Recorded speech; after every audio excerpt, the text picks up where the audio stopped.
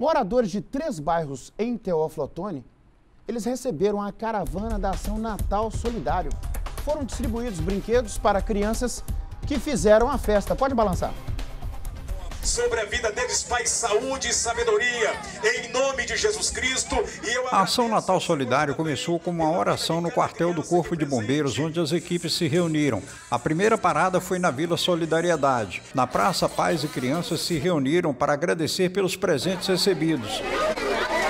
Que com amor se disponibilizou a nos ajudar. Keiliane diz que o irmão de 4 anos recebeu dois presentes no Natal ganhou esse e mais dois na creche. Estavam esperando ganhar esse presente? Não, porque nós estávamos deitados, né? Aí passou o carro, nós subiu para pegar. Líder comunitário Valmir diz que a comunidade esperou ansiosa pela chegada das doações. É muito importante porque as crianças vão se sentir incluídas né, no meio social. É um programa bacana, né? Onde vai valorizar as comunidades mais carentes e isso aí ajuda muito, né? A gente vê que tem muita família que às vezes não tem condição de estar tá dando um presente ao seu filho. E com essas ações ajuda muito, né? A ajudar na demanda de casa, de cada família. Organizador do Natal Solidário, o pastor Samuel diz que as comunidades foram escolhidas após o estudo social das famílias. A gente faz todo um mapeamento da cidade, das comunidades né, mais é, necessitadas assim de uma ação solidária.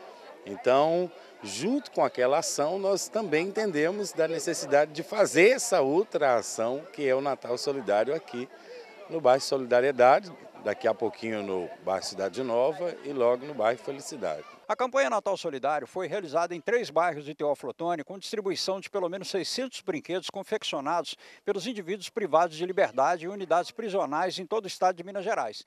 Além desses presentes, as crianças receberam brinquedos que foram arrecadados pelos voluntários, pelos organizadores do evento. A caravana passou também pelo bairro Cidade Nova. As famílias se reuniram para ganhar os presentes. A distribuição foi realizada pelos voluntários junto com equipes da Polícia Penal, Militar e Corpo de Bombeiros. O Ederson diz que os brinquedos geram bem-estar a quem está preso e em liberdade. São parte do projeto Fábrica da Alegria, que é confeccionado por, pelos IPLs. É uma fábrica de, de, de, brinquedos que é distribuída em toda Minas Gerais, dentro das unidades prisionais, e é utilizada a mão de obra dos IPLs. O sargento Arley diz que esse foi o último evento do ano para dar amor e carinho às pessoas necessitadas em bairros da cidade. É um trabalho que a gente vê no sorriso, na felicidade, na alegria das crianças. E quando a gente vê uma criança feliz, é, o trabalho é recompensado realmente.